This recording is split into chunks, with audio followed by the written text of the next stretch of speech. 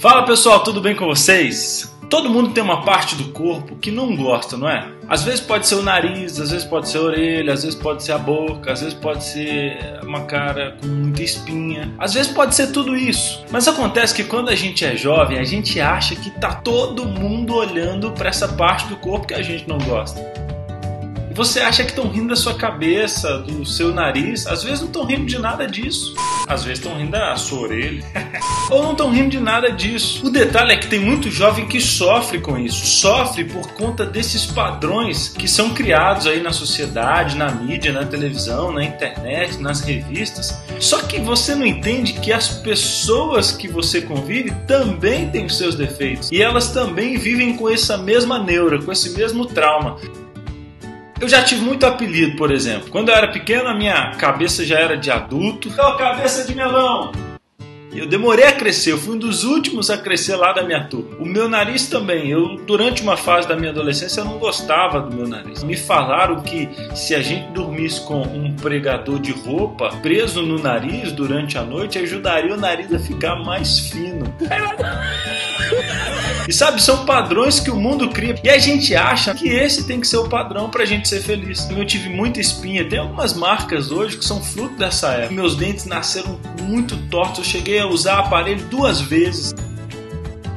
E ainda não resolveu. Mas como você está vendo nesse vídeo, tudo isso que me fazia sofrer na época de adolescente, hoje eu faço piada. Tem muita coisa que te faz chorar, que te deixa triste hoje. Tudo isso vai ter passado, essa fase onde você está com uma grande transformação de vida, hormônios, pressão das pessoas. Então não fica aprisionado. Eu quero terminar te dando três conselhos rápidos. Número um, para de se comparar. Sabe que você muitas vezes se compara com a foto da capa de uma revista, quando na verdade a pessoa está lá cheia de Photoshop, nem ela se reconhece na foto. Essa ditadura da beleza que colocaram aí, dizendo que para você ser bonito você tem que ter o cabelo assim, o nariz assim, as medidas assim. Nunca acredita nisso não. Que as pessoas que estão lá fazendo filmes, tirando foto para revista, muitas vezes se sentem mais tristes que você, porque para elas foi criado um padrão muito mais alto. O segundo conselho é ignore as pessoas que fazem bullying com você. E se você ignora o bullying, normalmente ele acaba. Normalmente quem faz bullying com alguém é alguém infeliz e quer ver uma outra pessoa mal para se sentir melhor. Agora, a grande solução eu encontrei não foi no livro de autoajuda, não foi dizendo todo dia no espelho: você é lindão, você é bonitão, você é um vencedor. Não. A grande solução eu encontrei no livro dos livros, na Bíblia. 1 Coríntios 13, verso 12, que diz assim: Porque agora vemos por espelho em enigma,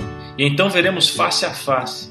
Agora eu conheço em parte, então conhecerei plenamente, como também sou plenamente conhecido. Já parou para pensar o quanto você vai ser feliz se você conseguisse fazer isso hoje? Passar a se enxergar como Deus te enxerga. Deus te ama do seu jeitinho. E se Ele te ama, saiba que Ele vai cuidar das outras coisas da sua vida também. Esse assunto tem deixado tantos jovens tristes. Eu tenho viajado por aí, tenho visto jovens que andam se cortando, se automutilando, porque não são felizes como eles se enxergam, por causa dos padrões que esses jovens criaram na própria cabeça. Se liberta disso tudo isso vai passar, essa fase difícil passa. Que hoje te deixa triste, amanhã você não vai estar tá nem ligando. Gostou desse vídeo? Então clique em curtir, compartilhe esse vídeo aí com seus amigos para que mais pessoas possam também se libertar dessa armadilha do espelho. Que Deus abençoe você e até o próximo vídeo.